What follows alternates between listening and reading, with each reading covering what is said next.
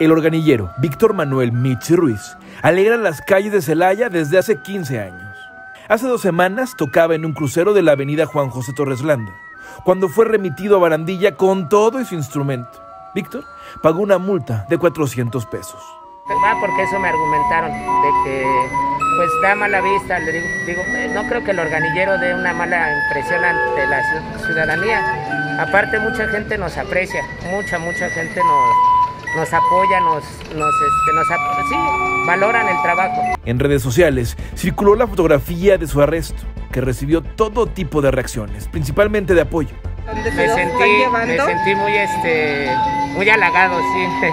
Eh, mucha gente hablando, bueno, sí, o sea, molesta también de que de la forma que nos, eh, sí, que, me, que nos llevaron.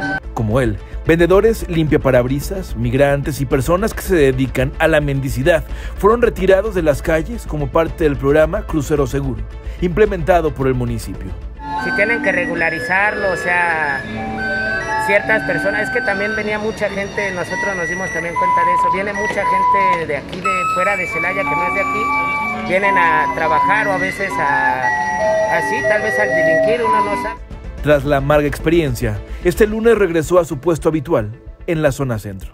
Porque es en el único lugar que nos quieren dejar trabajar y aquí hay muchas, pues mucha gente, muchos compañeros músicos que no queríamos venir a fastidiarnos, pero pues aquí andamos. Ahorita estamos viendo eso, de pues, si podemos conseguir este un permiso. Ya se nos acercaron varias personas y están, nos van a echar la mano. Bueno, van a ver en qué nos pueden apoyar para para obtener un permiso ya que nos puedan, podamos trabajar un poco más, más libre.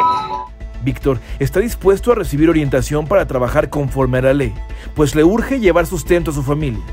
El músico tiene dos hijos de 6 y 11 años y su esposa tiene 8 meses de embarazo. Con información de Luz e imagen de Martín Rodríguez, correo al punto.